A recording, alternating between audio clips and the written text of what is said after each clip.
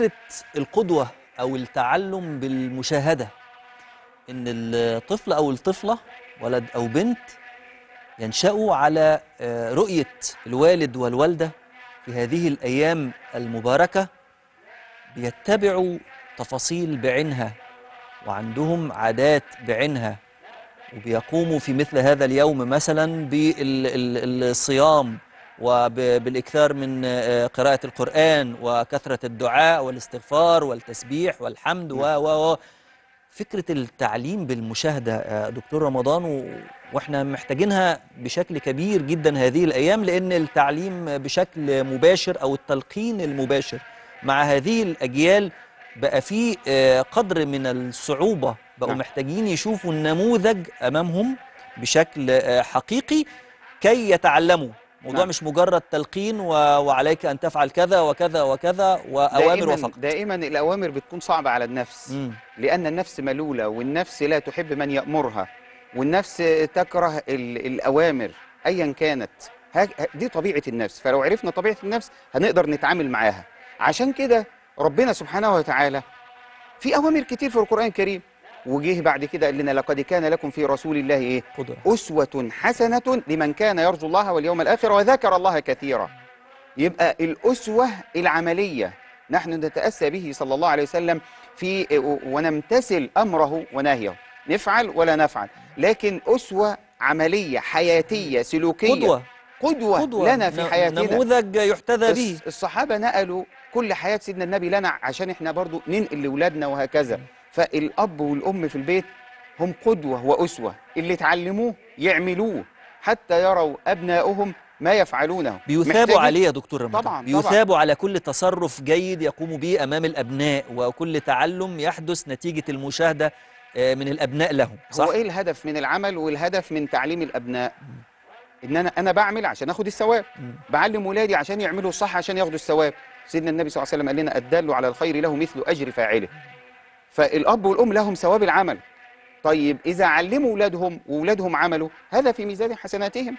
وهذا من الأمور التي لا ينقطع العمل فيها. الثواب مم. لحد بعد الموت. صحيح. خدت بال حضرتك؟ ولد صالح. ولد صالح. يدعو له. له طب أنت إذا ربنا أكرمك اولا أديت المسؤولية اللي عليك ثانيا ربنا أكرمك بولد سواء ذكر أو أنثى يدعو لك. سواء تلميذك في المدرسة ده ولد صالح. الولد ليس من صلبك فقط صحيح. إنما تلميذك اللي في المدرسة ده ولد صالح يدعو لك.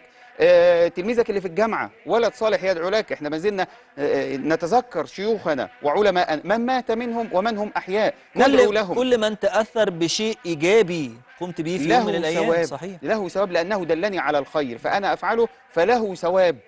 وإن لم يكن مباشر لأن الله عز وجل هو الذي يتولى آه، العطاء.